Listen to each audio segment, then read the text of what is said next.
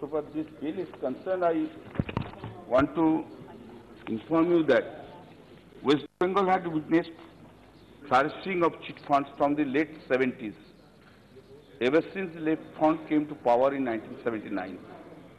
The scam of Sanchayita Investment Company came to light, overruling the price cheat and money circulation schemes banning act 1978 as was passed by the president parliament Sanchayita has continued operating in full swing with the patronage of the some political leaders playing behind the curtain in the early 90s the poor investors of the state of west bengal were shocked to hear about similar nature of fraud and there are different companies were there who were also implicated in that.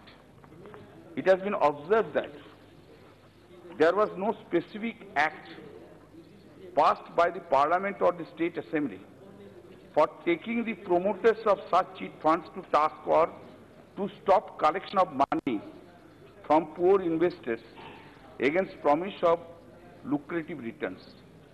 Although initially in 2003, the State Assembly passed an act, a draft act, and sent it for the assent. Assent was not given. Hmm. Then in 2013, the, under the leadership of the Honorable Chief Minister Mamata Banerjee, the another act was enacted that is called Promoters of Interest of Depositors in Financial Establishment Act 2013. But unfortunately, objections were sent by the Indian central government at that point of time. And assent was not given on different reasons were cited.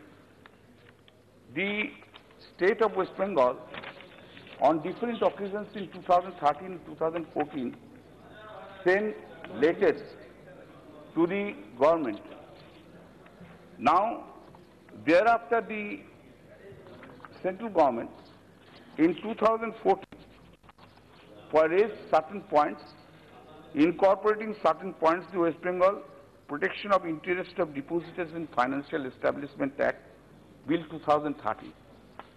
Then they have suggested certain lacuna in the bill or suggested some suggestions which were incorporated.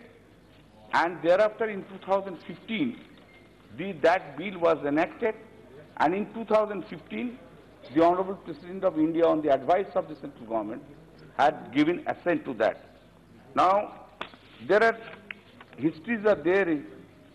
Now the state government amended that West Bengal's rules of business also in terms of that. Madam, I want to inf inform you that regarding this, the state government of West Bengal, under the leadership of the Honorable Chief Minister Mamata Banerjee, prepared a specific scheme of payment of compensation to the depositors in distress and an amount of rupees 500 crores were, was earmarked for this purpose. It was decided to pay compensation through Justice Shyamal Sen Commission set up by the state government on 24th January to 24th April 2013 and a special investigation team was to render assistance to the commission. A total of rupees 251 crores worth of checks were issued for due compensation to the depositors in distress. Besides action against the offenders, including judicial custody of the main accused for such. It was known to everyone that there was a writ petition was filed at the Sarda matters. Then the, it was investigated by the CBI. CBI has taken the investigation, but the investigation is investigation is pending for 2013 to 2019. I am just bringing the notice of the Honorable Minister who is present. CBI has undertaken the investigation in 2014, mm-hmm. 2013, 14, under the directions of the Center. why still now charge sheets have not been filed? It is not the credit of any agency, investigating agency, to keep the persons at the pre-trial stage in the bell, in the jail. It is not the credit. Credit is if under con- after con- uh, trial on conviction accused are sent to the jail, that is the credit. That credit has not, that has not been finished. For what reason? If anybody has committed, I let us take it. Whatever the comments are there, I don't mind for that. Whoever that, whoever the persons are there, why, why? Why you are not commissioning? Why you are not कुछ record sending? पे नहीं जाएगा सिवाय You are Kalyan not जी के। sending. Now, madam, I want to intimate you. I want to say, now the honorable minister, in the background of the fact that we have passed, we have passed the आप- bills. आप अपने जी। Turn पे बोलिएगा अभी उनको बोलने I, दीजिए madam, I want to, I want to really tell you that in the background of the facts that this August House has passed the Banning of Unregulated Deposited Scheme Bill 2019, assent has been given. Is there any necessity to continue with the cheat fund? Why? Scrap it. Scrap it. I will suggest scrap it. Why? This, all these provisions have been made in the bill itself, the act, itself. Now it has become an act. Now why this is required? Scrap it. Cheat fund means it, it really gives a incorrect impression to the common people. Although it is CHIT, but people take it cheat C-H-E-A-T. Effectively, one in, your, one of the standing committee meeting, effectively in one of the standing committee meeting of the uh, finance standing committee meeting, we have come to learn that the, one of the members of the, the standing committee meeting, which is being referred to forward a question to the governor of the Reserve Bank of India, asking the term cheat fund, I mean CHIT fund, is used to describe such funds. The Reserve Bank of answered the question that it is not CHEAT. How the common people will make that difference? What is the necessity? Stop it, scrap it. There are other acts are there. Why you will indulge these sorts of business? When the poor cultivators are suffering, why we will in- indulge? Scrap it. You have brought sufficiently good bill which deals with the other things. It is covered. Now you scrap it. My question remains, do cheat funds constitute a valid business? Ponzi schemes is Ponzi schemes, whether the Ponzi schemes are invalid? So if cheat funds are valid or Ponzi schemes are invalid, how will the common people able to make a distinction about investigating in cheat funds and investigating in Ponzi schemes? These are basic fundamental things that are really missing. That is the reason people are misled by this. Now, madam, I will just show that in Sarda case, which is the, for what reason the CBI is making the investigation. Subrata Chattoraj's case.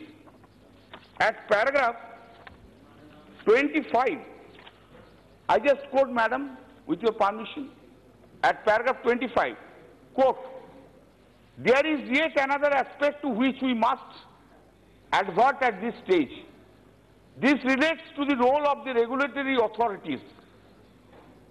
The investigation conducted so far puts a question mark on the role of regulatory authorities like SEBI, Register of Companies, and officials of RBI within whose respective jurisdiction and areas of operations this scam not only took part but flourished unhindered.